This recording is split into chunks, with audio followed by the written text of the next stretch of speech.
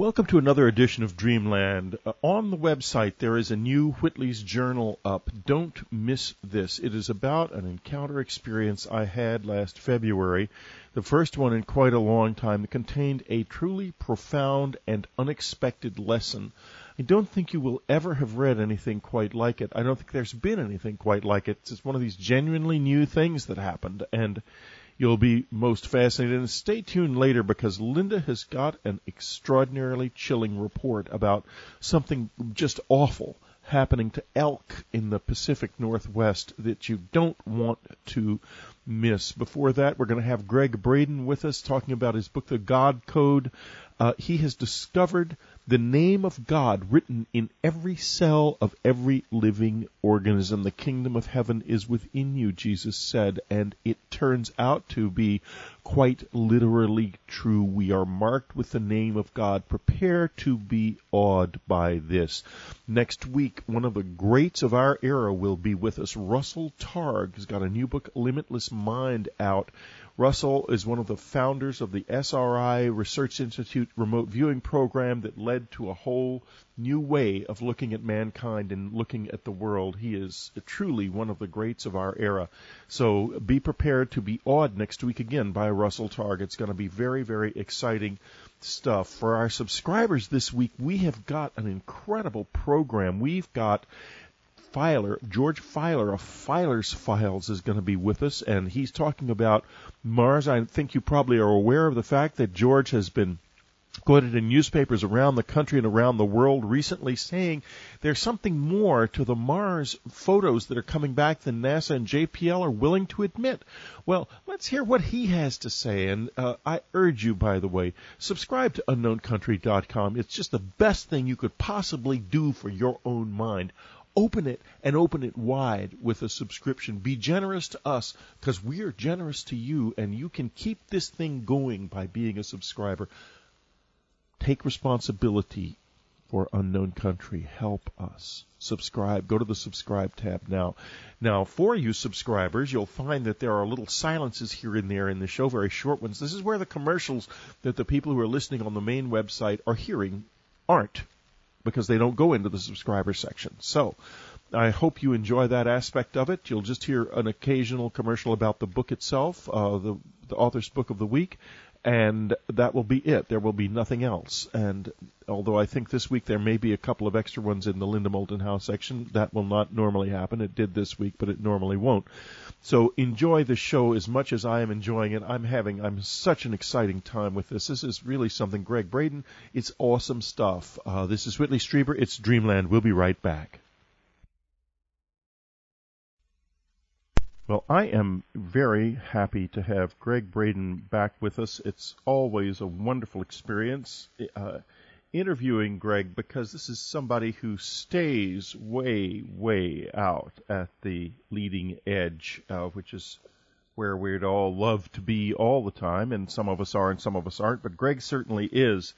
And he's got a new book out called The God Code, which is nothing less than and discovery about our bodies that indicates the presence of God within us. Remember, Jesus said, The kingdom of heaven is within you. Well, Greg has got an extraordinary idea about just what that means, and we're going to get into that during the course of talking about the God Code. Uh, I, we had, I believe, the Isaiah effect on Dreamlands uh, some year or so ago, a very popular show the God code, the secret of our past, the promise of our future.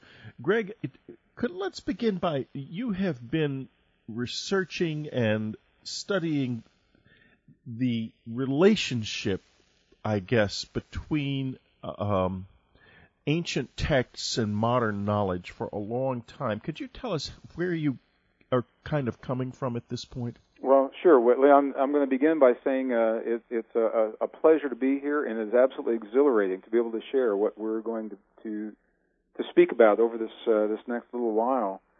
The, the the material that we're going to discuss uh, this evening is uh, it's a result of a research project that began uh, when I was an engineer uh, in the defense industry in the last years of the Cold War, and it is an ongoing project. It is yet to be completed. So what we are talking about now is what we know now, and the bottom line to uh, to the, the, research that has happened thus far is that we've found a uh, a concrete link, a tangible connection between the human genome that describes uh, the cells of, of uh, all life and, and, our body specifically, and an ancient alphabet. Uh, and I've got to, to, tell you, as a scientist, the, the, the concept is absolutely mind-boggling. Uh, and at the same time, it makes so much sense, and it is so eloquent and so simple when we really get into the material and see how it's laid out. Uh, and what it says to us uh, is that beyond a shadow of a doubt, there's an intentionality underlying our existence. Um, that we are related to one another and to, to all forms of life uh, that, that share this phenomenon with us, and very probably uh, to, to, to, something even greater. And it is those principles uh, that uh, that make this material so so exhilarating to share because of the implications and what they mean in, in our world today. So I know that was a long answer and probably straight off of the brief question you just asked me. But that's fine. That's but, fine. Uh, it's it's a it's a place to begin. Um, from a, a non-religious, non-denominational perspective, as an engineer, uh, I began a search for a principle, Whitley, that that would exclude no one, that would include every human who's ever walked this earth, a unifying principle, uh, in the hopes that once we find such a principle, it makes the reasons for the wars of our past obsolete. And what historians are telling us right now is the 20th century, uh, beyond a shadow of a doubt, bar none, was the single bloodiest century in all of recorded human history on a per capita basis. And it was also the century in which we made the most advance uh, uh, scientifically and, but interestingly enough, not ethically, because we are still we did arguably the worst thing in history during the 20th century in the form of the Holocaust. Mm. Uh, the most terrible crime, perhaps, that has ever been cre- ever been committed by man against man. And I don't include in this, by the way, the crucifixion because it was really not a crime. It was a it was something else uh, entirely. Uh, uh but but this was definitely a crime, and it was only one of many. The dreadful things that the Japanese did in China were almost beyond the imagination, and yet they revealed a dark part of the human spirit that all of us need to address and accept within ourselves. Otherwise, it will keep returning and eventually, I'm sure, destroy us. Well, this is this is the the impetus, uh, the many many reasons uh, for doing the kind of research, and we can talk about this throughout the the program. But the many reasons for doing this research. Uh, as an engineer, uh, in the defense industry during the Cold War, I had the opportunity to see behind the scenes how really frightening uh, the events of that war were. And it's a war. The Cold War was a very interesting war. It, it wasn't didn't have the publicity uh, that many of the other wars have had in the 20th century. Um, you know, we didn't see soldiers uh, arriving in uh, by water, by land, and by air. It was it was a war that was fought uh, from a very different perspective. On the one hand, on the other hand, uh, many people are simply not aware of how frighteningly close both sides came during that time to doing the unthinkable and unleashing uh, the, the worst weapons technology that we've ever developed uh, on, a, on a full scale basis.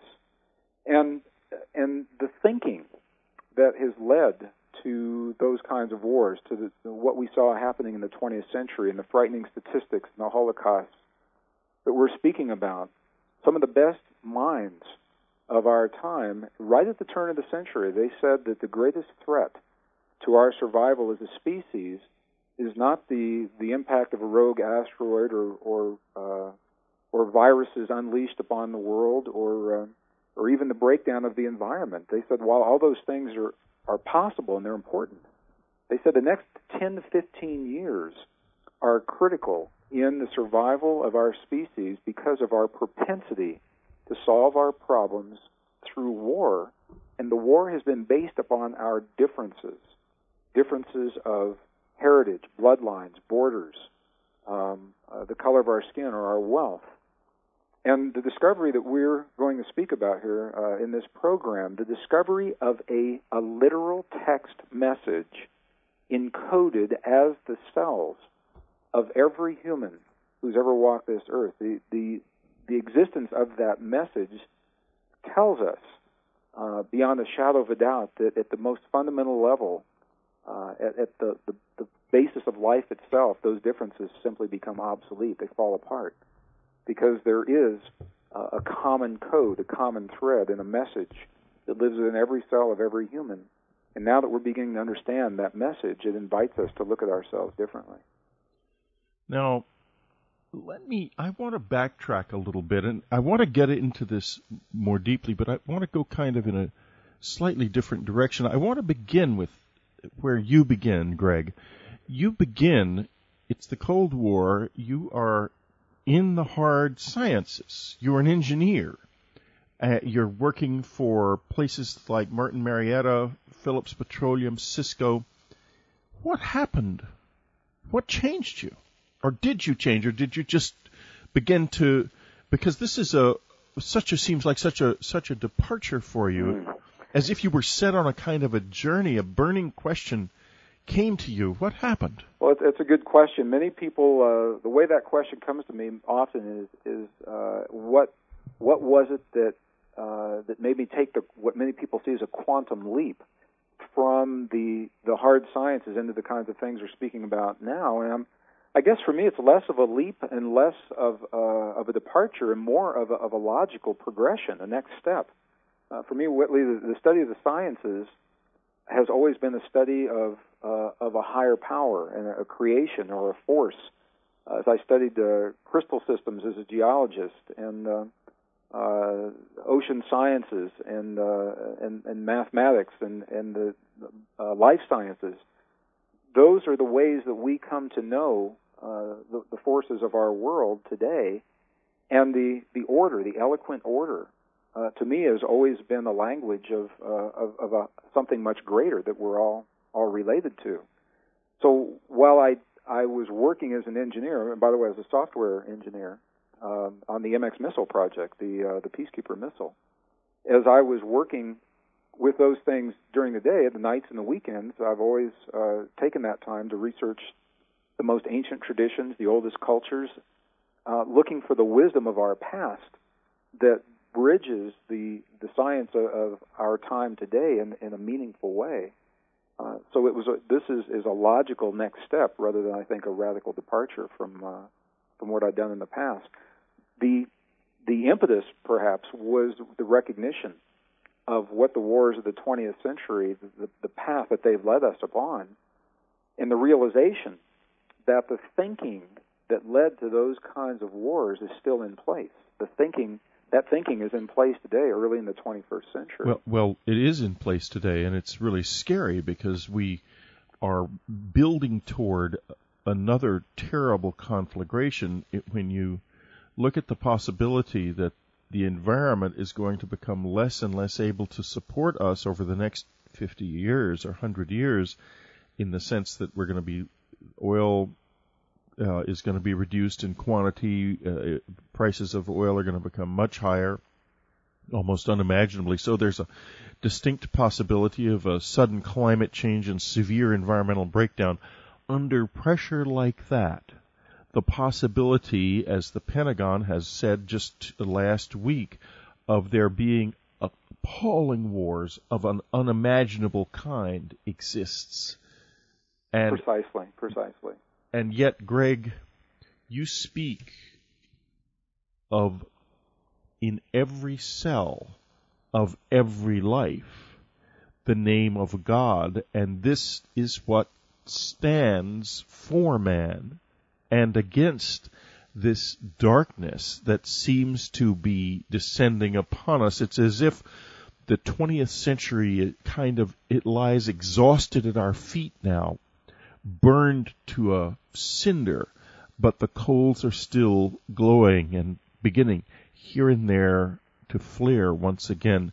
This is Whitley Strieber. It's Dreamland. We'll get more deeply into the God Code with Gregg Braden in just a moment. We'll be right back. Gregg Braden, the God Code. We must not be passive. The future depends on us. The God Code represents a key to finding out who we are and how to change this world from within us think it can't be done, that's what you're supposed to think. The great lie that we are helpless, that we must remain passive, there is nothing to be done. Wake up to the God code. Do it today. Get it from the unknowncountry.com store.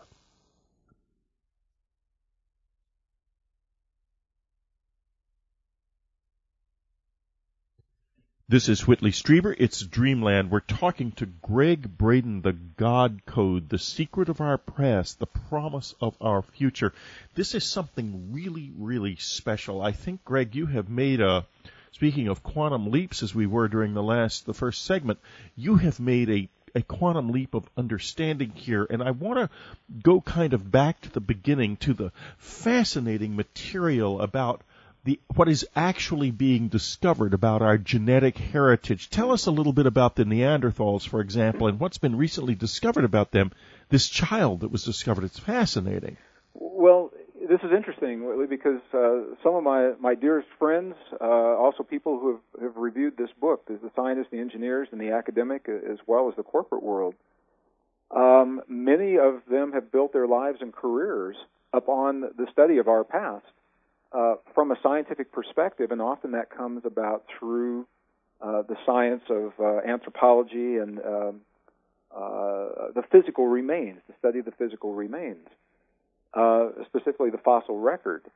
And one of the, the theories that was dominant in in the last part of the 20th century was that that we are part of this this evolutionary process, and that we have climbed this evolutionary ladder uh, from the point of less evolved hominids to, to where we are today. And if that's true, we should find evidence of them in the fossil record. Well, more than the fossil, in, in 1987, a remarkable discovery was made in uh, in northern Europe, and uh, you know I'm I'm just not sure why this didn't even make the cover of Time magazine. It was just so amazing, uh, or Newsweek, or CNN, or and all those things. But what was found was the the remarkably well preserved body of a Neanderthal infant, uh, a young girl, uh, that was carbon dated to about 30,000 years old. And this, this infant was not fossilized and was not mummified. Her body had been placed in, in a cave deep in the earth, uh, apparently 30,000 years ago, and was so well preserved that her DNA was still intact.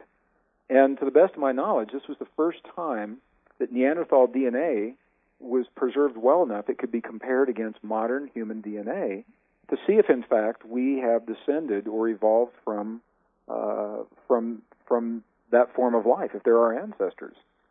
And uh, to make a long story very brief, the the conclusion to the study was that there was not enough genetic similarity between modern human and this Neanderthal infant to suggest that we actually descended from the infant uh, and subsequent studies have shown that, that modern human uh, very probably shared the earth. We walked the earth with these beings, which means we couldn't have evolved from them, that we were here at the same point in time.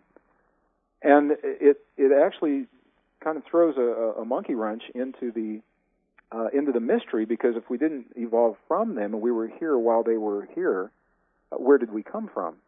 And uh, and even more recently, uh, midway, I I guess it was around June, July uh, of 2003, the announcements were made of fossils in northern Africa of humans uh, that are essentially modern humans, now dated about 160,000 years old. Uh, people that look pretty much like you and me 160,000 years ago are, are physiologically, it looks like our bodies haven't changed much during that time. Now, doesn't that, however, weren't those discoveries wasn't it said that they were that the skeletons had been washed down into an older strata or something? No, that, that, was a that was a different discovery. That was uh, uh, Hans Reck, Louis Leakey, 1931. But this is a, a relative. This is such a new discovery uh, that Scientific American released a special edition in July of 03 updating uh, the world on, on what we know about our, our history, history through the archaeological, uh, I'm sorry, the anthropological records. And, uh, and these were, uh, what they found were modern humanoid uh, fossils. Um, and I'm not sure how many skeletons there were, but they were essentially, this is the work of Dr. Tim White. Um, and his, uh, his colleagues, there are a number of people that are working with him. It's a team. Um, this is the oldest known fossil record of what are essentially modern humans, 160,000 years old. The question is if, if evolution is ongoing, why hasn't there been much change over that last 160,000 years?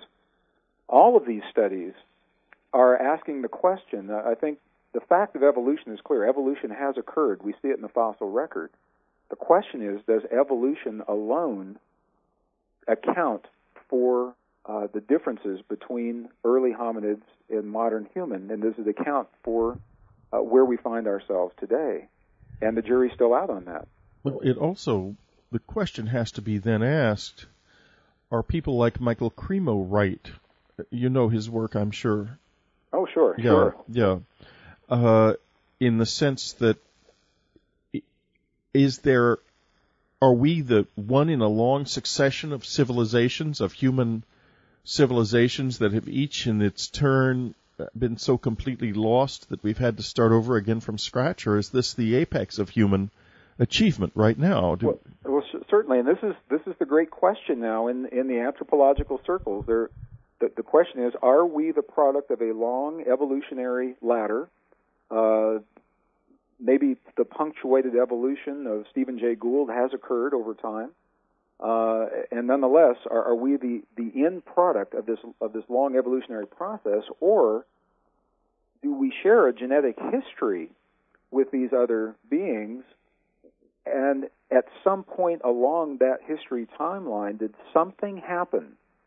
Some mysterious process occurred that set us apart from other forms of life and set us along our own evolutionary path. Uh, and this is the great mystery now that the jury is out on this uh, because uh, because the evidence is incomplete. When we are finding the kinds of things that we're finding in the genome that we're speaking about now, the the evidence of a literal text-based message encoded into the essence of life itself, it suggests that we are here uh, intentionally, that there is an intelligence underlying our existence, uh, that we are in fact all part of one another, uh, and perhaps uh, a part of, of, something even greater than we've ever imagined in, in the past. And uh, and it is it invites us to think of ourselves uh, from from a very different perspective. Now you speak of an of an amazing thing. This this phrase, a text based message encoded in us, as if as if somebody has left their their mark or their brand upon our body. You know, it makes uh, it makes tremendous sense when we when we as a species create something that we're proud of. Uh, our, our artwork, uh, paintings, sculptures, uh, even our our technology, uh, the, the minute components in our electronics, everything that we create has an identifying mark in in some way. Yes. we know who who that maker is. We're often uh, told in in our most uh, sacred traditions that we are made in the image of, of something else, of, of our Creator. If that is true, it makes tremendous sense that the Creator, whoever that is, would have left uh, a mark of some kind, uh, perhaps even a signature, that once recognized uh, would allow us to understand beyond a shadow of a doubt, uh, at least that, that we are an intentional species. We may not know how or who or, or why it happened, but it says that we're, we're no accident. And I think we're just scratching the surface, and, and we're only beginning to understand. I think perhaps what uh, what this is really saying to us. But the we'll go into the, the specifics of this discovery. Uh, what we can say in general right now is there is a message encoded into the cell uh, of every human who's ever walked this earth and uh, and who does so presently. And with that message, it tells us that we are related to one another in the most intimate way imaginable um, that we are uh, we're we're part of one another and, and very probably part of uh, even a greater existence. Now, this is quite a fantastic thing. It, it, you're talking about there being a marker uh, of of God inside us, and I'd like to find out. First, let's talk a little bit about DNA and the discovery of DNA. I believe in somewhere in the book that you mentioned that one of the discoverers of DNA said that um, the the chances of it being accidental were just almost non-existent. Is that correct? Well, certainly. Fran- Francis Crick, Crick in, uh, yes. one of the co-discoverers of the of the structure of the DNA molecule, and he's actually been quite uh, quite uh, verbal uh, about his feelings, very outspoken. And he, uh, his book is entitled "Life Itself." He he actually states that the the uh, the odds of the complexities of, of life as we know it today happening by chance uh, appear to be almost miraculous. Uh, since that time, uh, in, in, I've not seen the book. I've seen it in uh, excerpts from magazine articles. He's gone so far as to use the word um, uh, that, that somehow there's been an intervention at some point. While we don't talk a lot about what that intervention was, he said that the the chances of this happening randomly, the results of a random process, are, are pretty slim. Well, we talk a lot about that intervention on this radio program because we have guests who who explore it in all kinds of different ways. Uh, and I'd like to continue to explore it with you in your particular way because that is, in a way, in the of the toward the essence of what you're saying. Uh, let's talk a little bit now about the the the the the discovery of the letters in particular that you that you found that were sure. that were related to, to to the God code. What is the God code? Well, the the key to, to um, we'll start with generals and we'll get more and more specific. Generalities get more and more specific. The the key to this entire discovery. Uh, when I worked, when I was a software engineer. I worked in pattern recognition. Uh, was was some of the uh, the code that I was developing. And as as I had the opportunity when the genome was released to the public, uh, and the research that was done in the late 90s and uh, uh, in its entirety in 2000, there are certainly patterns in the genome that appear to, to be sentence structures, although we simply don't know what those sentences are saying. We're going to find out, though, what those sentences are saying in just a couple of minutes because we're going to be back with Gregg Braden. This is Whitley Strieber. It's Dreamland. We'll be right back. Gregg Braden, the God Code. We must not be passive. The future depends on us. The God Code represents a key to finding out who we are and how to change this world from within us. Think it can't be done? That's what you're supposed to think. The great lie that we are helpless, that we must remain passive. There is nothing to be done. Wake up to the God Code. Do it today. Get it from the unknowncountry.com store. This is Whitley Strieber. It's Dreamland. We're back with Gregg Braden. We were talking about the discovery of the God code within the human genome and within the genome in general. And we were just talking, uh, Greg, before we left the air about those sentences. And what what sentences were you talking about? Well, well, certainly, Whitley. And what uh, once again, the bottom line, the key to this discovery is a concrete link, a numeric link between ancient alphabets and the elements that make the DNA in our bodies. In other words, what we're looking at are symbols. Today, we use the symbols of things that we call carbon, oxygen, hydrogen, nitrogen to describe life in our bodies it appears that the ancients, uh, specifically ancient Hebrews and, and many of the other uh, traditions we can get into, uh, were doing the same thing in, in a very different language. So the symbols were different. However, every one of the symbols was linked to a number, and the numbers have not changed over time.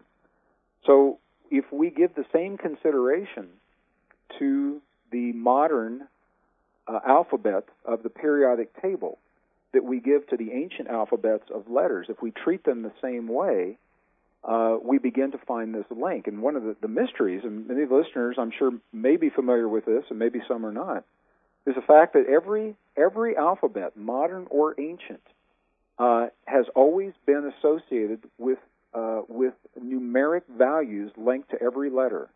Each letter of every alphabet has always had a very precise, very specific number linked to the letter. The numbers don't change over time. Some of those are 5,000 years old. We don't even know where they came from.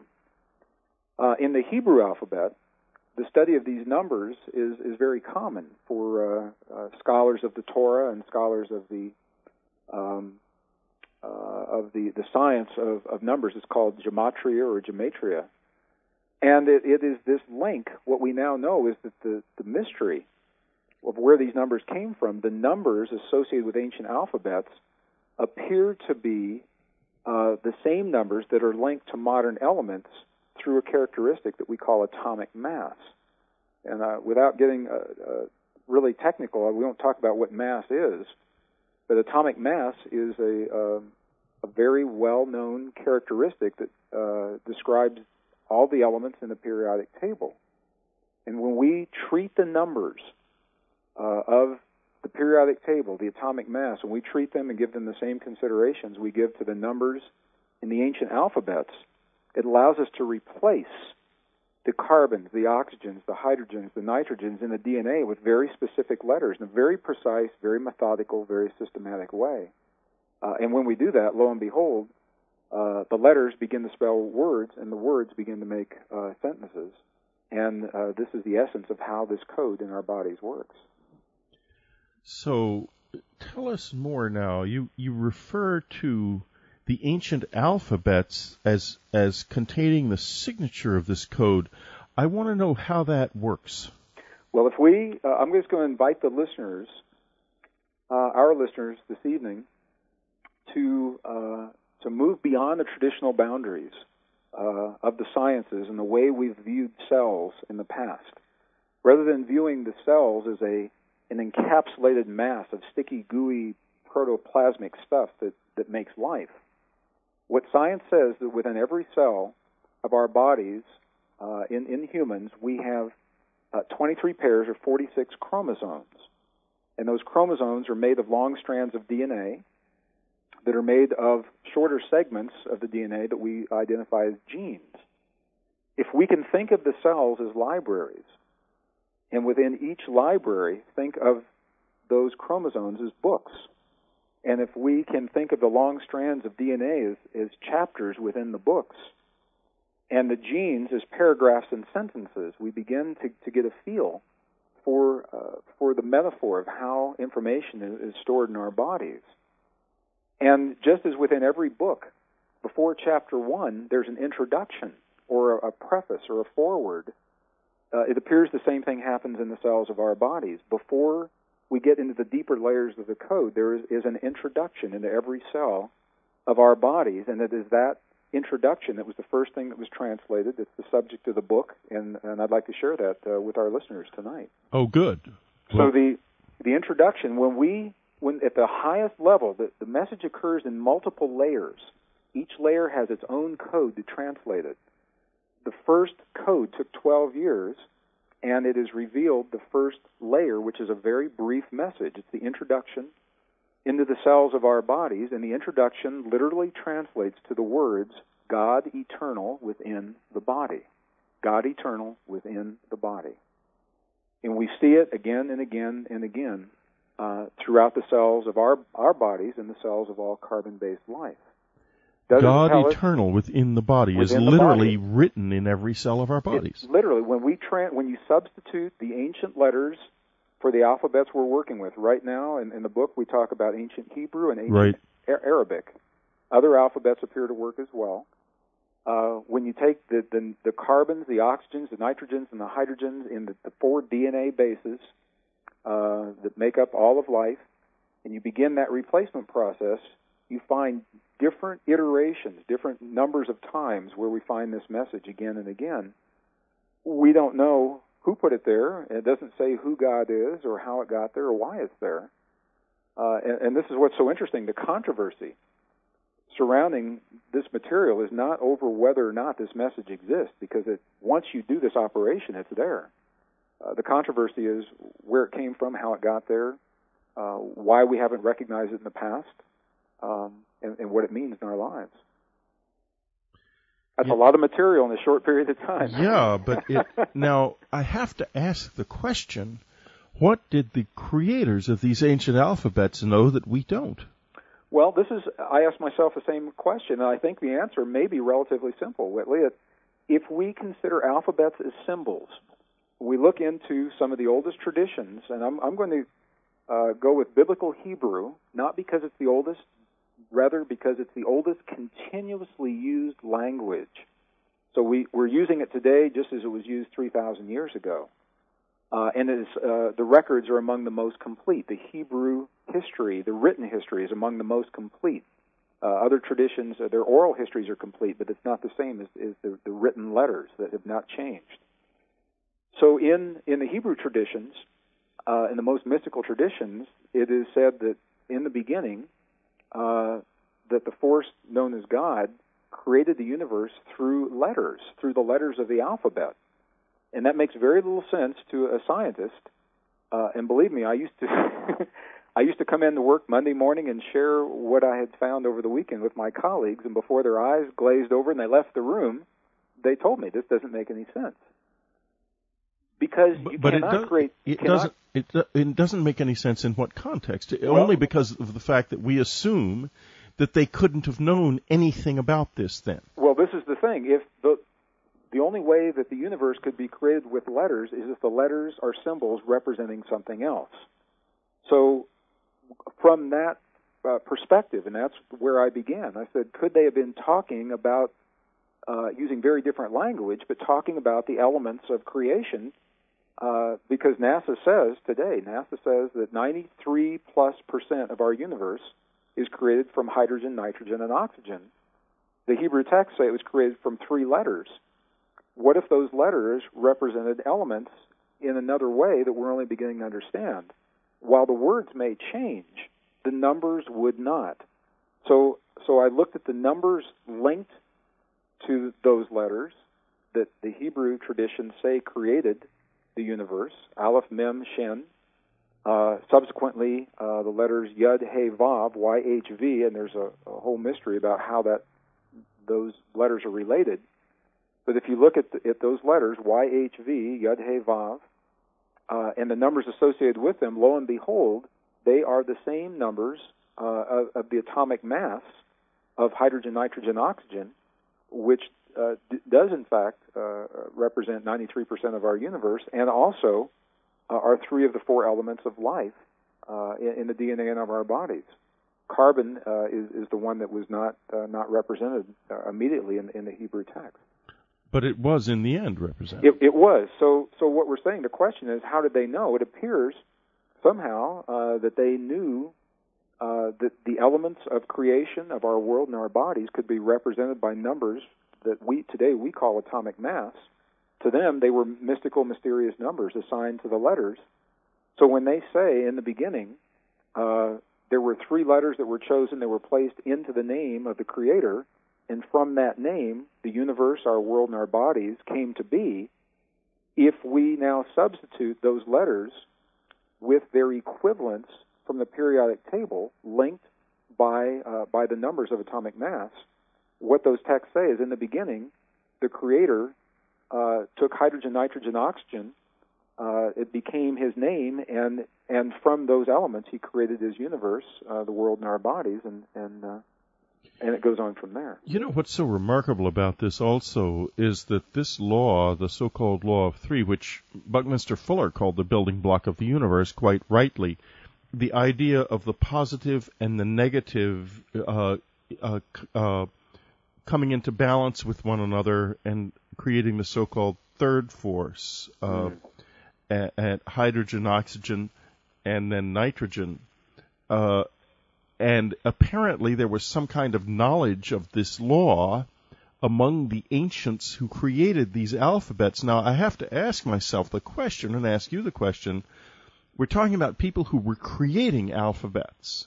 So you would think that with knowledge like this, it's the kind of knowledge that comes out of long, a long history of having alphabets. So what are we looking at here exactly? Uh, uh, what what was going on in the past? What uh, th- this strange ancient presence in the world that's called mankind that we're beginning to see as the true mystery that it is the skeletons of our species going back hundreds of thousands of years, or 150,000 years anyway, uh, the mystery of our knowledge, lost then found again, lost then found again over the succeeding eons. I'm going to ask Gregg a huge question when we get back.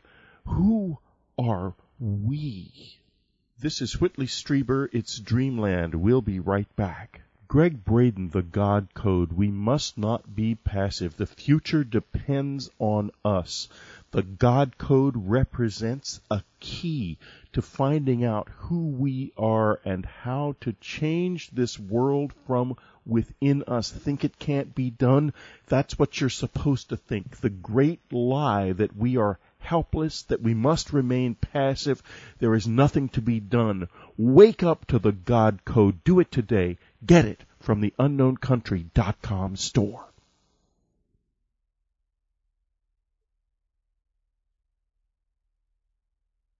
This is Whitley Strieber. It's Dreamland. We're back talking with Gregg Braden. He's been spinning around with that question, who are we? in the context of this marvelous book, The God Code. And by the way, greggbraden.net. Go to it to find out what Gregg is doing, what where he's coming from, his wonderful work on prayer. It, there is so much to this guy. Do not miss getting into Gregg Braden. If you are in the spirit and engaged in this search, as I know you are, as I am, he's an important place to go and to be and to learn from. Uh, he's a man who's accomplished something. Okay, Gregg, big question. Uh, we'll give you 30 seconds to answer it. Just kidding. Well, I'm glad you're, you're waiting at least to the middle of the program for the for the, the big hard questions now. so the question is, who are we? Yeah, who are we? And I want to ask you that question in the context of our known and unknown history, and also I want to get a little bit into the lost books of the Bible. Well, certainly. At the, at the very least, we know that we are uh, we're beautiful, mysterious, mystical creatures. Uh, the ancient texts tell us that. Modern science is now saying the same thing. If we go from the way these texts are describing our past, uh, the texts say very clearly that we are the union, the marriage of uh, of something from beyond this world married with something of this world. Uh, and this is where the letters of the alphabet and the DNA are, are so key. The letters of the alphabet say uh, in, in, the Hebrew alphabet that that the three letters of God's name, uh, YHV, uh, which equate to the to the periodic table, it's hydrogen, nitrogen, and oxygen. Those are uh, colorless, formless, odorless gases. Uh, and if we were simply made of those things, as the, the, God's name is, we wouldn't be having this conversation. We would have our, our physicality wouldn't exist. Uh, however, when you add those things together numerically, when you add hydrogen, nitrogen, oxygen, you come up with a number that matched to the periodic table gives us uh, carbon. And carbon is the is the physicality uh, of uh, of our bodies, and it's it is the earth. And, and in that way, the DNA in our bodies is mirroring what the ancient texts say to us that we are uh, the marriage of the non physical and the physical, of, uh, of, of, spirit and matter. Um, and the texts go on to say that, uh, that we are here uh, for the purpose of, of becoming uh, beings of perfection, and that it's through the, the choices we make in our lives that, that we may achieve that. Science can only tell us what's happened in the past. The text can give us insight into why those things have happened. So, what science is telling us, our own science, through both the fossil and, and the genetic record, it's saying that, that our bodies have been on this earth in this form for a long time, and genetically, that something happened, something mysterious happened to us a long time ago, and, and it's shown in the genetic record where where we acquired genetic material that was the result of a fusion of other creatures' materials that cannot happen through nature. Chromosome 2, human chromosome 2, for example. There are, are specific genes in that chromosome, and, and, uh, and I document this in the book. Uh, the scientists are telling us that those genes do not occur naturally, that they were fused from other primate genes to get, make us who we are today. So science says something mysterious happened in our past. We don't know what it is. We can just see it in the genetic record. The texts say that something mysterious happened in our past, that we were intentionally uh, tweaked, if you will, or or modified uh, to to exist in this world in the way that we do today uh, for very specific purposes. And and when you marry the two together, uh, perhaps we are beginning to have some insight into the true answer to the question of who are we. And you say for very specific purposes. Could you elaborate on that? Well, again, science can only tell us, uh, and, and, I'm just going to, to, be clear, although there was an intuitive uh, hit that that was the basis for this discovery. Once that uh, was realized, uh, we use the best science available to us today to flesh out uh, everything that we're talking about. So this we're we're talking about crossing the traditional boundaries of science and, and spirituality, marrying them into a greater wisdom. So when we go into the texts, uh, uh, some of the oldest, uh, most sacred traditions of, of humankind, what they're telling us is that that we are here given the gifts of uh, of other realms, married with the gifts of this realm, and that we're given the choice uh, to determine how we use those gifts to either become better people and, and create a better world, or uh, or to essentially destroy ourselves. Now, this is one of these incredibly rich books that is so filled with new ideas and new information that we, I could literally interview you for 12 hours and we wouldn't even touch the, we wouldn't even begin to scratch the surface. What I want to do now, though, is to go to, in a way, to the uses of the knowledge, and I want to talk to you a little bit about prayer because you know a lot about prayer, and uh, tell us a little bit about the lost mode of prayer. Western science, Western researchers uh, today identify uh, in our in the Western world, they identi- identify four modalities of prayer that are called prayers of supplication, and they say that we we use these modes of prayer uh, either uh, individually or, or we use uh, we combine them in some way, and they're all good modes of prayer. There are no incorrect ways of praying. I'll be very clear about this.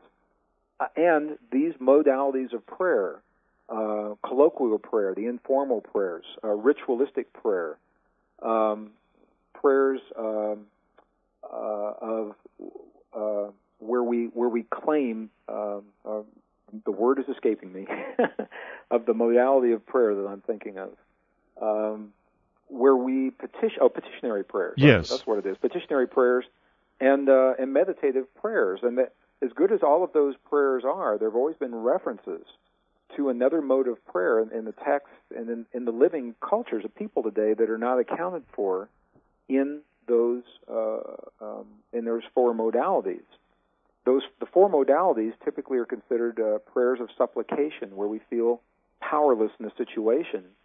So we invite the intervention from a higher power. We say, "Dear God," or "Dear angels, uh, please help me in this moment. Help my loved ones to heal. Let there be peace in the world." As good as those prayers are, the lost mode of prayer reminds us that we are part of the world around us. We're part of all that we see, and that we may participate directly rather than asking for intervention. And the way that we do that is through a, a language of no words. It's a language of feeling, a specific quality of feeling based in our hearts. Uh, what quantum physicists now began to find between 1993 and, and the year 2000, they found that through our hearts, we, when we feel very specific feelings in our hearts, we are interacting with a non-conventional force of energy that now is recognized, and that that force not only changes the chemistry inside of our bodies, it, it, in addition, it, it has effects that extend beyond our bodies and have been measured at distances of many miles. So, what Western science is saying is, although they don't know specifically why, they say when we feel certain feelings, we affect the world around us. The ancients are saying in this lost mode of prayer are saying when you feel this way, not only do you change your body, you change your world. And you, again, you marry those two ways of knowing together. Uh, and for the first time, maybe in a long time, we're empowered to understand our relationship uh, to to the world and, and the events around us and how to participate in those events. Now, this is not like it isn't a prayer with words. It's a it, tell us about the quantum connection with regard to this type sure, of there, prayer. This prayer is this modality of prayer is not linked to any religion. It is a non-denominational prayer. It has no words. It has no outer expression. It is simply a feeling uh, in our bodies, and it is a feeling that the prayer literally is the feeling as if the prayer has already been answered, has already been accomplished. So it's, if we're, we're creating internal conditions that we hope that the external world will mirror. Well, what quantum physics is saying to us now is that the external world does, in fact, mirror what we have become from within. So the feelings in our bodies are mirrored in the world around us. So, for example, uh, rather than praying for peace, when we pray for something, what we are in effect saying is that it doesn't exist now. So when we're saying, please let there be peace in the world, we're actually reaffirming that there isn't peace. The fifth mode of prayer invites us to feel the feelings of peace and gratitude for that peace as if it's already there by creating those feelings inside of our bodies. First, what we do is we release a, a powerful life affirming chemistry in our bodies, DHEA levels, uh, increase over 100% in six hours time from feelings of gratitude and appreciation. So when we can feel gratitude and appreciation for the peace in our world or the healing of our loved one and, and see them in the way that we would like to see them uh, from within, what, what Western science is showing us, specifically quantum physics, is that those kinds of feelings, that quality of emotion, actually is, is an energy form that affects the world around us, and it is measured beyond the body. I think one of the first uh, uh, places where researchers began to see this was in the the, the study that was done with um, the cold fusion. Um, it was supposed to be the answer for our energy problems in the 21st century, creating more energy, uh, outputting more energy than it took to create the energy. And one of the mysteries was why the cold fusion apparatus would not work consistently. Uh, sometimes it would, sometimes it wouldn't. And it took a very astute uh, young researcher, and he asked the question. He said, "Why is it when the people in the room believe in cold fusion more often than not, it works, and that when they are skeptical more often than not, it doesn't?" And that led to the the series of studies showing that the expectations of the researchers were part of the experiment and and with the delicate quantum nature of cold fusion, it showed up very rapidly. Other experiments have shown that this process is with us all the time. We, we may not see it as rapidly, uh, and uh, the effect is there that what we feel in our bodies, feeling is a language of no words, and, and that that language is the way that we speak to uh, to the quantum field of this uh, of the stuff around us. Gregg, what I think you're really talking about is the science and the, the technology of the future because we're going we're coming into a situation where it is going to be up to us in this way to make the world around us mirror our inner peace and our inner uh, uh the, the the welfare that we find within us otherwise we're going to see a collapse of everything that we hold dear. This well, is this is what we really have. There is no more oil to drill. The environment is going to go out of whack. Goodness only knows what else is going to happen. And by making this inner world uh, of of peace and harmony and spreading it out around us, we're going to act like magical beings, I think, in our own reality. I think that's what it's about. It's actually a very ancient wisdom, an ancient technology that is used and, actually utilized. Uh, Whitley, I've had the opportunity to to to travel, to journey into some of the most pristine, uh, rugged, magnificent, and, and remote places remaining on Earth today to visit the, the people and the cultures who have retained this kind of wisdom and they implement it in their lives day in and day out. In the West, we have strayed from these relationships. We believe we're so separate from our world and so separate from one another, and you know we hear this all the time. Uh, in in the monasteries in Tibet, uh, I've, I've had the opportunity to uh, both in 1998 and again in 2001 uh, to to be with the monks and the nuns and and the uh, the lamas, who literally said to us through the translators that feeling is is the prayer. It's not the words. It's not the words that we speak. It's the feeling that underlies those words. Now that we know so much was lost in the Western spiritual literature, both Christian and Hebrew Bibles were edited, and uh, uh, a large number of books were removed from both. Yes. And it's interesting because it's in in the books that were removed is where we find some of the greatest clues uh, that describe precisely this internal technology that that we do find in the Native American cultures and uh, in our country today, and in the Andes in South America, throughout the uh, Nepal and, and Tibet, and we've just been in India. We were uh, we're less than, than a month home from from India. We find this in many of the traditions that they're uh, used there as well. So it's an ancient ancient science. It's not obsolete. And in our own Western world, we must regain this because this is this is the tool that we have, our essential survival tool. This is the life it's the lifeboat. This is Whitley Strieber and Gregg. I would like to thank you for being with us. It's been an, a truly extraordinary experience. His book, The God Code. Don't miss the God Code. If you get one book, get this because this is a mind opening and eye opening book. It is so deeply and profoundly empowering. It's one of the most empowering things I've ever come across. And this show, as you know, is about empowering us to rescue the future, uh, which is what we, uh, this is our charge. This is what we must do in this generation. It seems impossible. It is not impossible. It is very, very possible. Don't be passive. Gregg Braden's website, gregbraden.org. Get into Gregg Braden. He's a journeyer. It's a journey well worth taking. Thanks for being with us, Gregg. Well, many thanks for being such a gracious host and uh, for creating the forum so we can have these conversations. Well, good. We'll be back with you again one of these days very soon, I hope. And I look forward to it. blessings on your journeys. Take good care. Gregg Braden, The God Code. We must not be passive. The future depends on us. The God Code represents a key to finding out who we are and how to change this world from within us. Think it can't be done?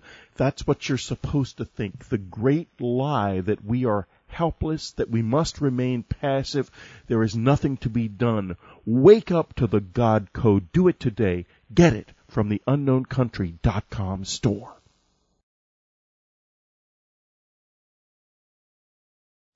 One reporter who loves mysteries is radio's leading science journalist, Linda Moulton Howe.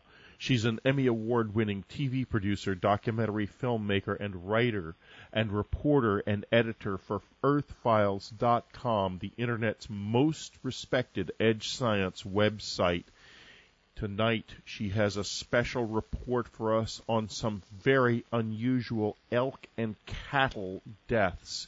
Here she is from Philadelphia, Linda Moulton Howe. Thanks, Whitley. It was uh, February 8, 2004, that Wyoming coyote hunters contacted the Wyoming Game and Fish Department in Rawlins to report that they had found two live elk down on their chest and unable to get up. The location was about 15 miles southwest of Rawlins on land actually owned and managed by the Wyoming Game and Fish Department. A Rawlins field biologist went to investigate, found the two elk, and subsequently, other field investigators found another 80 live paralyzed elk.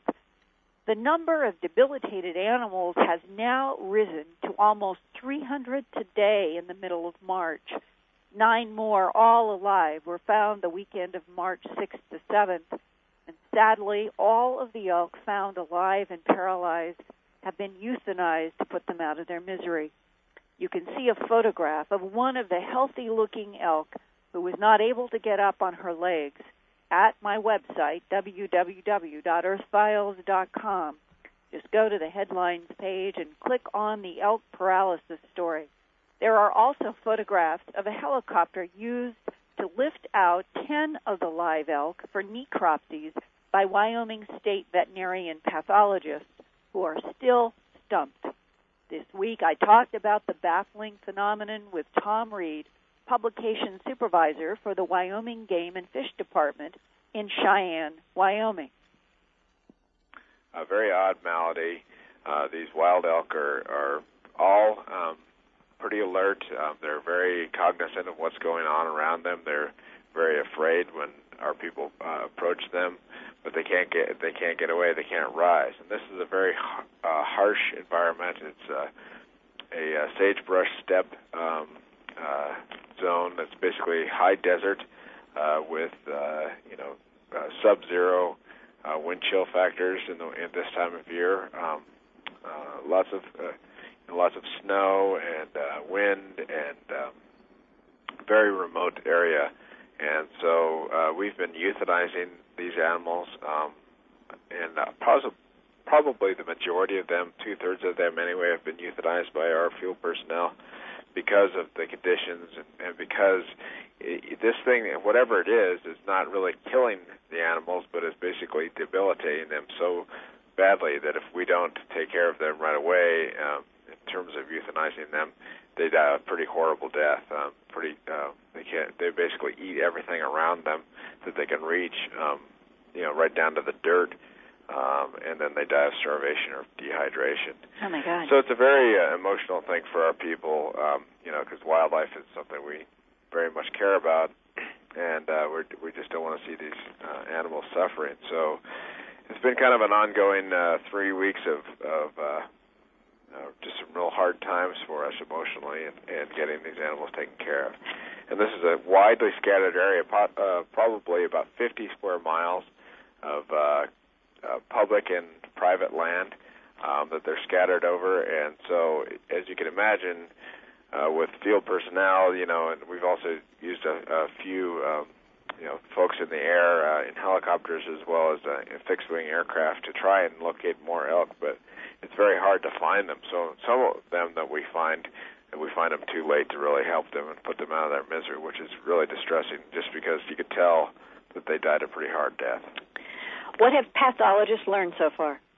Well, so far um, we've necropsied about 10 elk, um, and we've uh, ruled out a lot of the major, uh, you know, uh, bacteriological, uh, viral, uh, and uh, many of the toxic metals have all been ruled out. Uh, for example, uh, arsenic and selenium, uh, manganese, um, zinc, lead, all that's been ruled out as, as a of possible toxic poisoning. Ruled out all the common uh, bacteriological things. We've ruled out chronic wasting disease. Um, Have they found any prions in any of these animals? No. No. So it's uh, completely unrelated to uh, chronic wasting disease. Mm-hmm.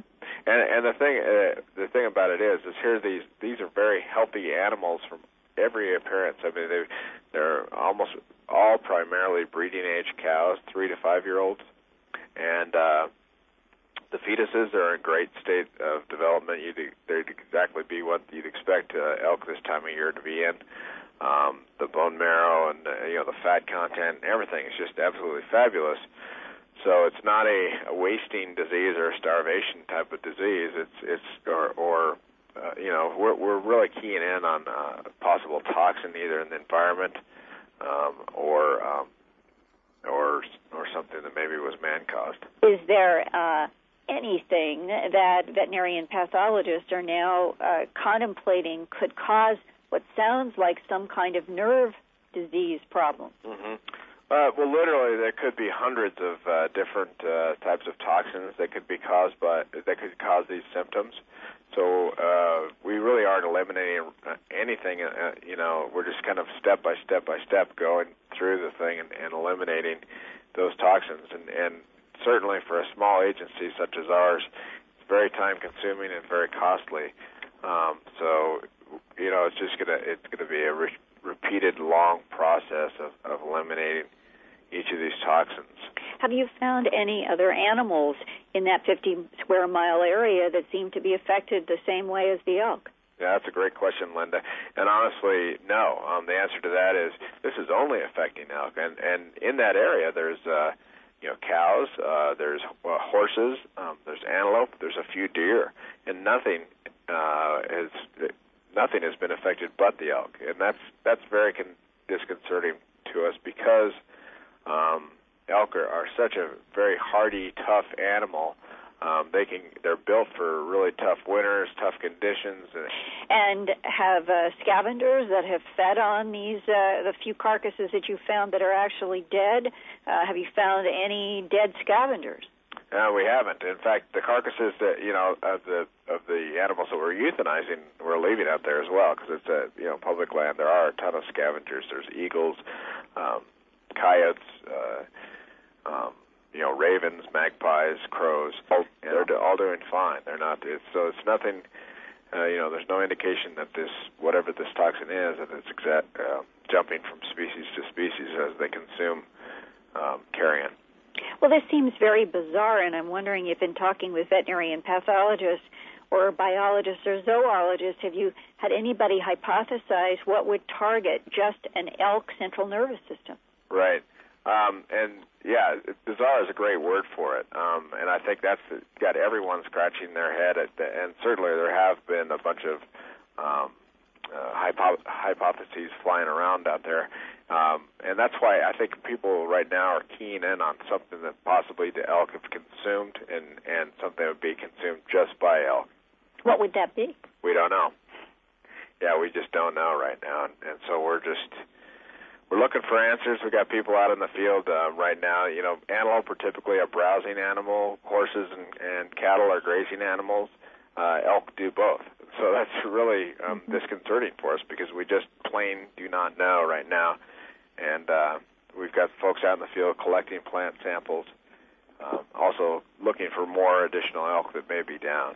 So um, we'll get to the bottom of it one way or the other. We hope. I mean, certainly the Wyoming State Veterinary Laboratory in Laramie, Wyoming, is uh, probably the tops in the country in terms of uh, you know narrowing in on things like that. But certainly the the definitive work on, on such things as uh, chronic wasting disease and brucellosis comes right out of that laboratory. So we've got some great professionals on that, and, and we'll hope to get to the bottom of it. Which makes it even more amazing that they are stumped after a month. Yeah, exactly. And and you know, well, there's a couple of things we could think about. Is number one is it's not, even though there's some great heads there, you know, it's not a ton of uh, personnel. It's you know, there's probably oh maybe a dozen people that are working on it, and they're working on it constantly. Mm-hmm. Um, and so, and then we're also looking at pretty limited resources in terms of a small state game and fish agency that's looking at this. So, um, you know, I, I think the month is. Uh, certainly disconcerting in, ter- in terms of time, but I think it's going to be a time-consuming thing just because there's so all the usual suspects have been eliminated, and we're fairly uh, standard procedures to eliminate those. Now it's going to be something that's a little bit odder that folks have not seen. And uh, of the 300 elk that you've either euthanized or you have found dead so far in uh, a month, do you have new cases that are suggesting that this is an ongoing problem?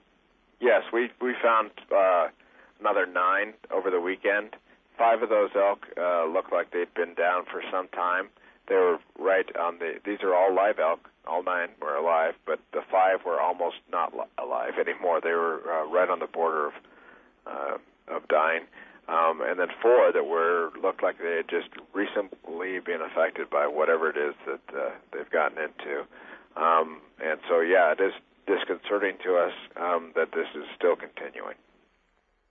Whatever the contamination, it must have happened at a time when the bulls had already separated to the higher ground for winter, since this seems to have only affected the adult, mostly pregnant cows left behind at the lower elevations. I know that the Wyoming Game Department has ruled out many metallic toxins such as arsenic, selenium, manganese, lead, and zinc poisoning but metallic toxins do cause degeneration in nerves similar to the elk symptoms.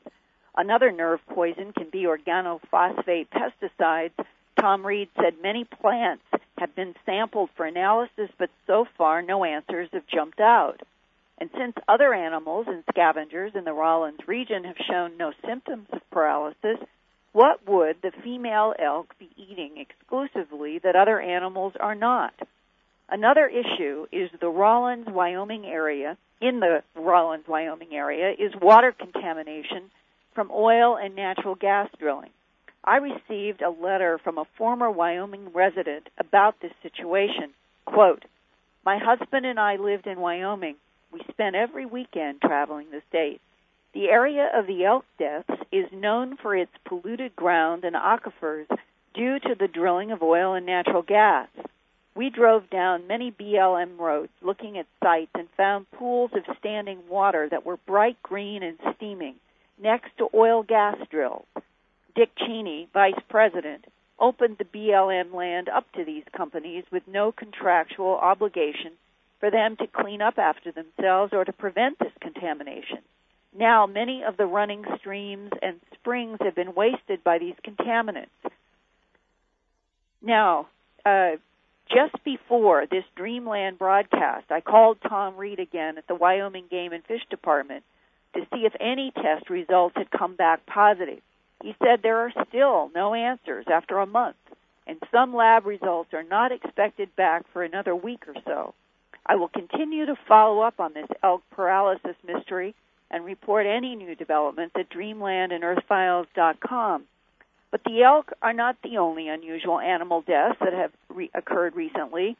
Last Saturday, on March 6th, over a 12-hour period between 7:30 a.m. and 7:30 p.m., a rancher in Cedaredge, Colorado, lost 31 of his cattle in violent kicking deaths. More about that animal mystery after this break. This is Linda Moulton Howe reporter and editor of EarthFiles.com, reporting for Dreamland. And this is Whitley Strieber. This is Dreamland. We'll be right back the work of Linda Moulton Howe, the amazing work of Linda Moulton Howe, the world's greatest reporter of edge news and edge topics. She has got a website, earthfiles.com. Go there frequently. You will never, never forget what you find on earthfiles.com. The best website, the best reporting of its kind in the world. Linda Moulton Howe, earthfiles.com. Don't miss a single day. George Filer of Filer's Files, the world's leading UFO newsletter, has been making a sensation in the papers lately with his claims about the Mars rover photographs. Is he right and is NASA really holding something back from us? Well, listen to what George has to say. Do that by going to the subscriber section and listening to the interview with him that I have just done. It is hot stuff and it's like everything in the subscriber section. Great information, fascinating stuff that you can't get elsewhere. Become a subscriber subscriber to unknowncountry.com. Keep this website rolling. It's essential that you do it. Unknowncountry.com. Go to that subscribe tab on the top of the homepage right now and get started. It'll be loads of fun, believe me, loads of value for you, and it will help this website keep going. Join us. Cedaredge, Colorado is west of Grand Junction in a Rocky Mountain region that has long been the home of farmers and ranchers. And one of those ranchers had 31 of his cattle die last weekend in only 12 hours. Vern Hillis estimates the one yearling bull and 30 mostly pregnant heifers were worth about $31,000. Veterinarians were not able then to answer what caused them to stumble and fall down, kicking and tossing their heads until their last breath. Rancher Vern Hillis is 62 years old and was born and raised on the ranch, first settled by his grandfather. In the past half century of working the family's 1,400 acres, Mr. Hillis told me that he's never encountered anything like this mass death of half his herd. I talked with him this week about what happened. The cows died in less than 12 hours. And uh, were you there uh, with any of them when uh, from alive to death? Well, more or less. There was some of the later ones. Now, the, I fed them at 10 o'clock Friday morning. Everything was healthy and no sick cattle or nothing. And I went to get a load of hay down in the lower valley and come back and unloaded. Everything seemed to be all right then. And then I went into my sister's for supper. And then when I come back late that night, it was raining and stuff. And I went over and checked the cows that was calving, to be sure I didn't have one needing help or anything. And then I got up uh, about seven o'clock and took off and went over to check them again that morning. And I seen a cow in the ditch kicking. And I got out to try to get her out of the ditch, and I glanced up, and the field was full of dead cows. uh, well, the ones that was still partially alive, they were just uh, uh, kicking real fast with their feet and throwing their heads. Hmm. Uh, that uh, you couldn't do to get them up or nothing. They were just kicking and grounding in their own fluid. Had you ever seen any of your animals like that before? Uh, no, uh, I have found some that had died from poison before, or you know, up on the hill, poison weed or something, but nothing like this. These deaths where they were kicking fast. What is the difference? Well, most of the ones that I've come across up from the hills, they usually die without the convulsion and stuff, kicking and fighting like that. A lot of them just, uh, you find them just kind of laying in a natural position or something, and they're just dead. It, uh, uh, these, uh, they were kicking and well, they're bleeding internally and drowning in their own fluid.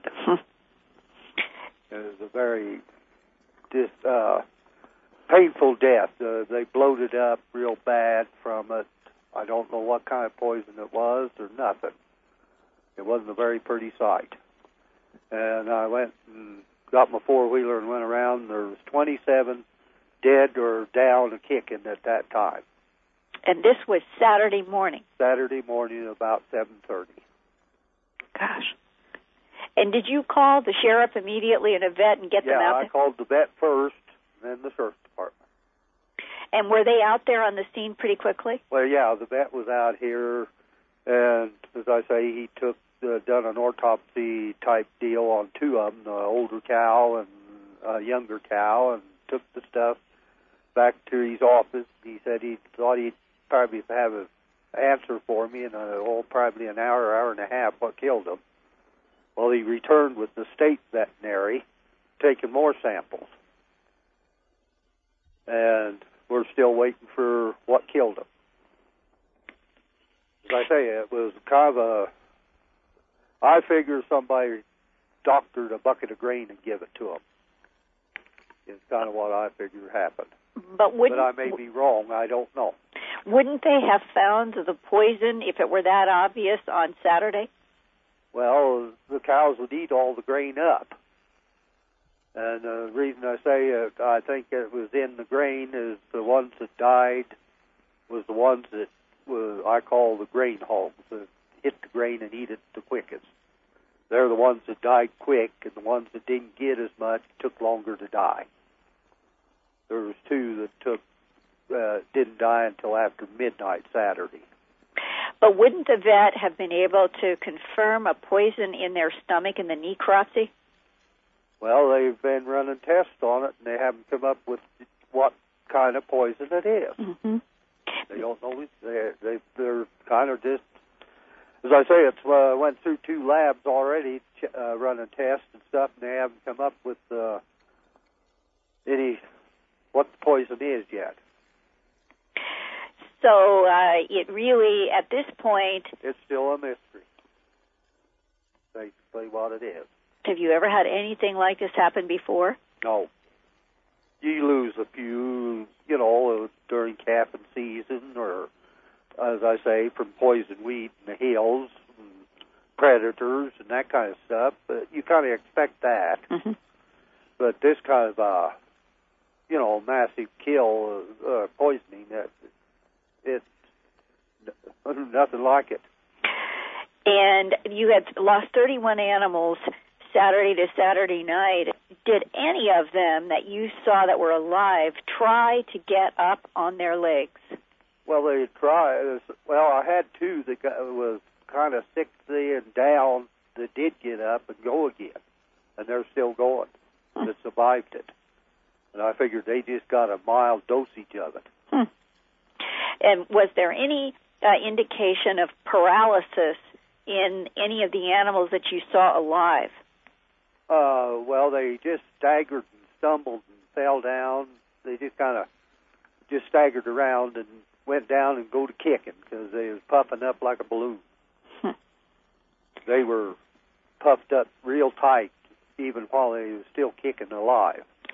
Did the vet say that he'd ever seen a big bloat on an animal like that that uh, kicked uh, while it No, died? whatever the poison was causing them to bloat up. Had the vet seen it before? Uh, he didn't say that anything about it, but uh, they pretty well knew it was poison when they left here Hmm. because they said there was no known diseases that would kill that many cow and that cows in that length of time without some symptoms. And so it was, you know, it, I figure maybe probably a lot of them uh, they didn't start dying. It was probably less than eight hours, probably. Somebody took some grain in there with poison in it after dark. Which is so cruel that it's beyond uh, uh, Yeah, understanding about why. Yeah, you just can't imagine uh, you know, the number. There's been a lot of people come out and well, one newsman he turned plumb white and got plumb sick, but taking pictures of it. Well, it turns out that Mr. Hillis's suspicions about somebody poisoning his grain are fortunately not correct. Just before this Dreamland broadcast, I received an email from Vern Hillis, who had just received a phone call from one of the veterinarians. The test results for a milkweed that grows in Delta County, which is extremely deadly to cattle, came back positive. The only positive out of approximately a hundred things that they went through trying to find out what had happened to these cattle. So apparently Vern Hillis was lucky for half a century that none of his herds got into this dangerous milkweed before. So at least one animal death mystery has been answered. But in the meantime, the unusual elk deaths without explanation in Wyoming have fish and wildlife managers, law enforcement, and ranchers there nervous about what could happen next. So it's nice, Whitley, to have at least one answer when there are so many other puzzling things in our environment.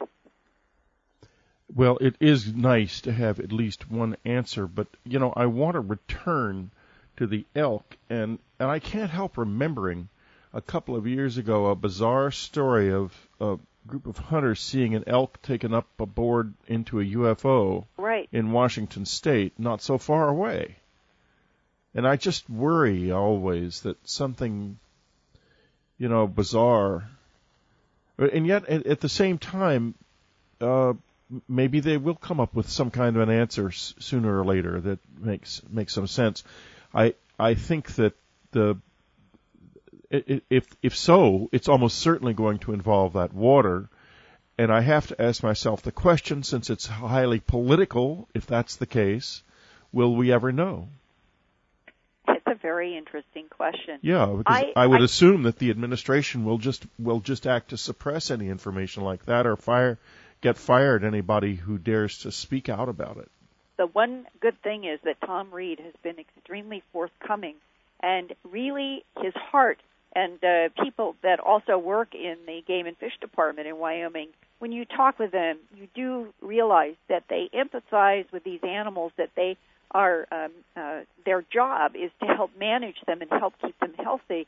And I think that in this case, they feel so badly about all these paralyzed elk that no matter what happens, that they are going to try to tell everybody what did happen, no matter what kind of political links there might be to uh, oil and natural gas. Uh, there are people out there who are very upset. Well, thank you very much, Linda, for an absolutely terrific report as always. And this is Whitley Strieber. It's Dreamland. We'll be right back. George Filer of Filer's Files, the world's leading UFO newsletter, has been making a sensation in the papers lately with his claims about the Mars rover photographs. Is he right, and is NASA really holding something back from us? Well, listen to what George has to say. Do that by going to the subscriber section and listening to the interview with him that I have just done. It is hot stuff, and it's like everything in the subscriber section. Great information, fascinating stuff that you can't get elsewhere. Become a subscriber unknowncountry.com. Keep this website rolling. It's essential that you do it. Unknowncountry.com. Go to that subscribe tab on the top of the homepage right now and get started. It'll be loads of fun, believe me, loads of value for you, and it will help this website keep going. Join us. Well, this is Whitley Strieber, and this has been our world today, and the the order, the eloquent order uh, to me has always been the language of uh, of, of a, something much greater that we're all all related to. So while I I was working as an engineer, and by the way, as a software engineer um, on the MX missile project, the uh, the Peacekeeper missile, as I was working with those things during the day, the nights and the weekends, I've always uh, taken that time to research the most ancient traditions, the oldest cultures, uh, looking for the wisdom of our past that bridges the the science of, of our time today in, in a meaningful way. Uh, so it was a, this is, is a logical next step rather than I think a radical departure from uh, from what I'd done in the past.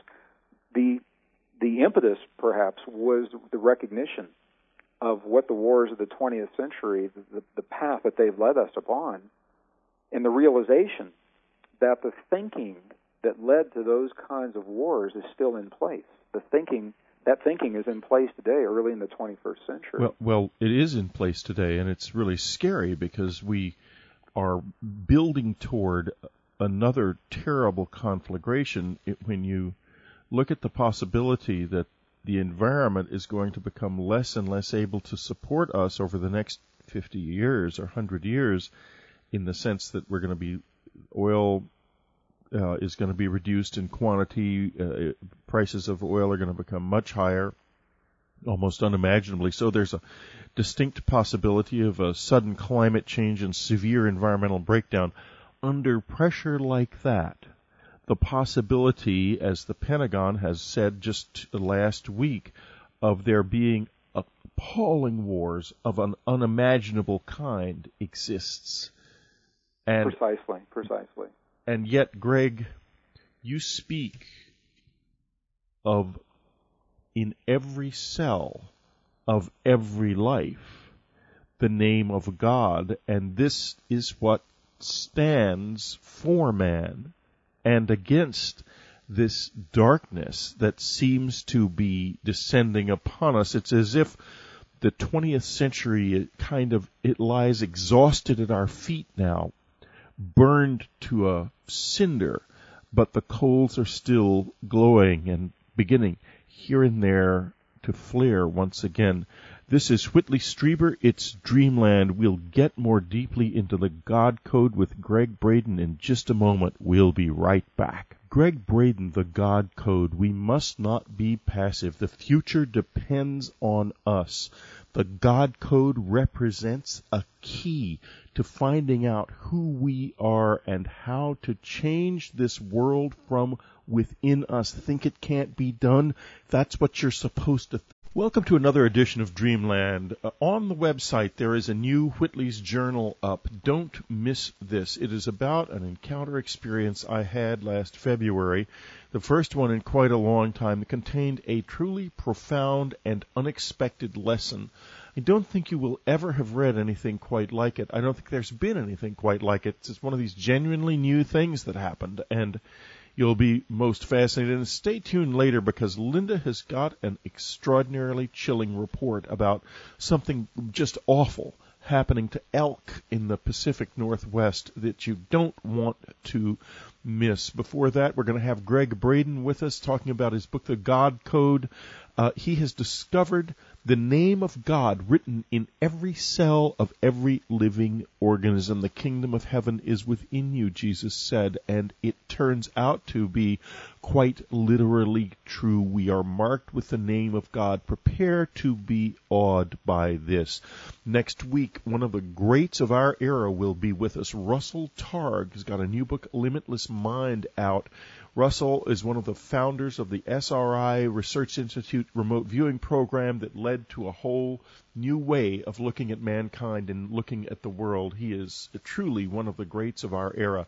So be prepared to be awed next week again by Russell Targ. It's going to be very, very exciting stuff. For our subscribers this week, we have got an incredible program. We've got Filer, George Filer of Filer's Files is going to be with us, and he's talking about Mars. I think you probably are aware of the fact that George has been quoted in newspapers around the country and around the world recently saying there's something more to the Mars photos that are coming back than NASA and JPL are willing to admit.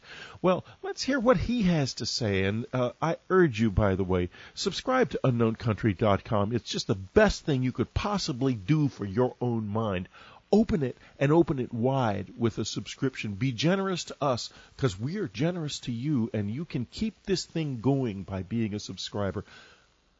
Take responsibility for Unknown Country. Help us. Subscribe. Go to the subscribe tab now.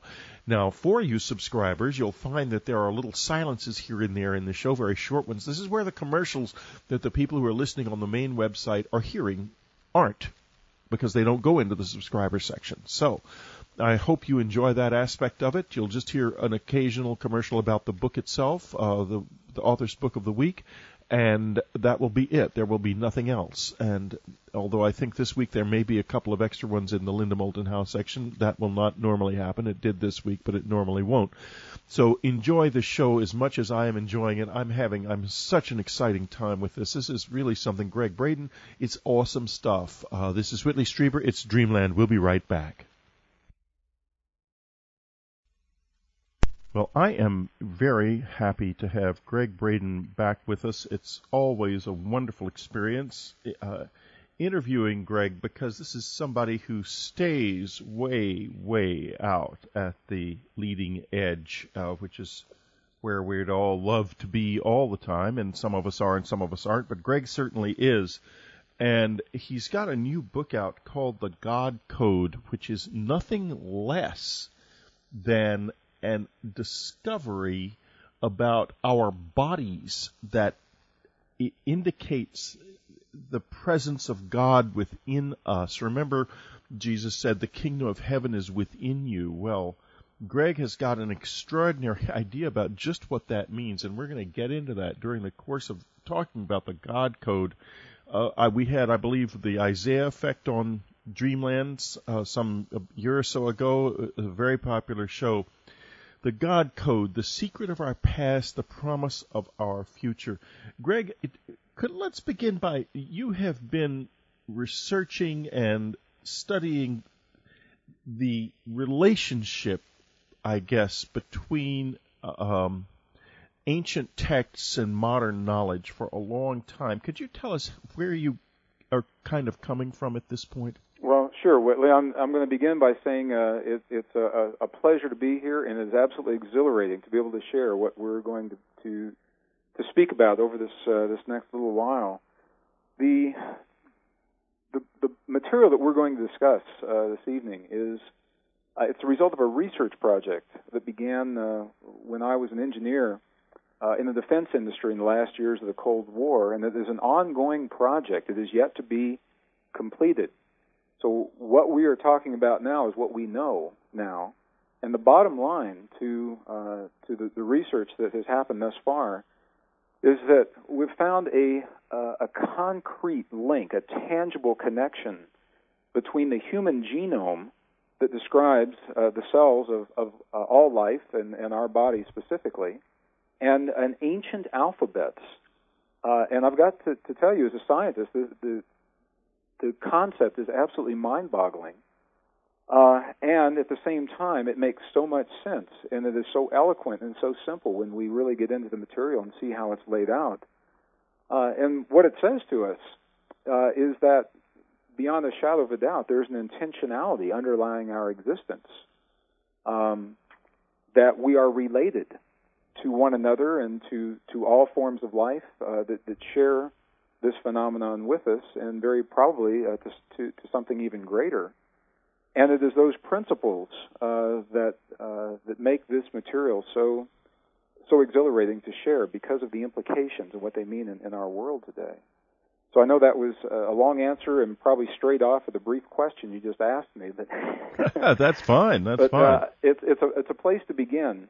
Um, from a, a non-religious, non-denominational perspective, as an engineer, uh, I began a search for a principle, Whitley, that that would exclude no one, that would include every human who's ever walked this earth, a unifying principle, uh, in the hopes that once we find such a principle it makes the reasons for the wars of our past obsolete. And what historians are telling us right now is the 20th century, uh, beyond a shadow of a doubt, bar none, was the single bloodiest century in all of recorded human history on a per capita basis.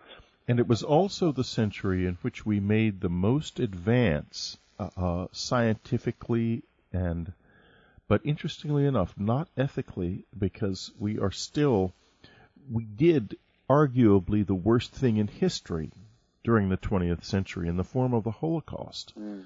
Uh, the most terrible crime, perhaps, that has ever been cre- ever been committed by man against man. And I don't include in this, by the way, the crucifixion because it was really not a crime. It was a it was something else uh, entirely. Uh, uh but but this was definitely a crime, and it was only one of many. The dreadful things that the Japanese did in China were almost beyond the imagination, and yet they revealed a dark part of the human spirit that all of us need to address and accept within ourselves. Otherwise, it will keep returning and eventually, I'm sure, destroy us. Well, this is this is the the impetus, uh, the many many reasons uh, for doing the kind of research, and, and, we can talk about this throughout the the program. But the many reasons for doing this research. Uh, as an engineer, uh, in the defense industry during the Cold War, I had the opportunity to see behind the scenes how really frightening uh, the events of that war were. And it's a war. The Cold War was a very interesting war. It, wasn't didn't have the publicity uh, that many of the other wars have had in the 20th century. Um, you know, we didn't see soldiers uh, arriving in uh, by water, by land, and by air. It was it was a war that was fought from a very different perspective. On the one hand, on the other hand, uh, many people are simply not aware of how frighteningly close both sides came during that time to doing the unthinkable and unleashing uh, the, the worst weapons technology that we've ever developed uh, on a, on a full scale basis. And and the thinking that has led to those kinds of wars, to the, what we saw happening in the 20th century and the frightening statistics and the Holocaust that we're speaking about, some of the best minds of our time, right at the turn of the century, they said that the greatest threat to our survival as a species is not the the impact of a rogue asteroid or or uh, or viruses unleashed upon the world or uh, or even the breakdown of the environment. They said while all those things are are possible and they're important, they said the next 10 to 15 years are critical in the survival of our species because of our propensity to solve our problems through war, and the war has been based upon our differences differences of heritage, bloodlines, borders, um, uh, the color of our skin, or our wealth.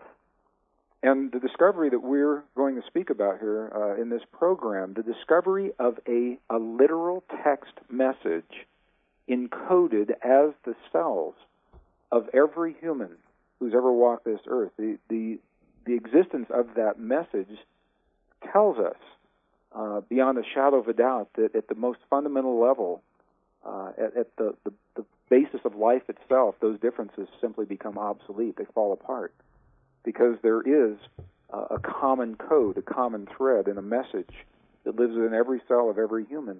And now that we're beginning to understand that message, it invites us to look at ourselves differently. Now, let me, I want to backtrack a little bit and I want to get into this more deeply, but I want to go kind of in a slightly different direction. I want to begin with where you begin, Gregg. You begin, it's the Cold War, you are in the hard sciences, you're an engineer. Uh, you're working for places like Martin Marietta, Phillips Petroleum, Cisco. What happened? What changed you?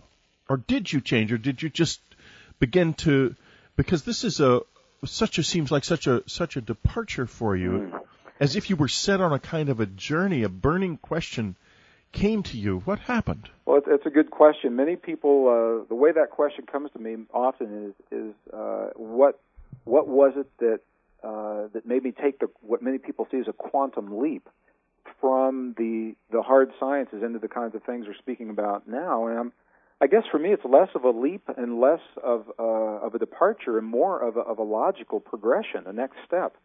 Uh, for me, Whitley, the, the study of the sciences has always been a study of uh, of a higher power and a, creation or a force. As I studied uh, crystal systems as a geologist, and uh, uh, ocean sciences and, uh, and, and mathematics and and the life sciences. Those are the ways that we come to know the, the forces of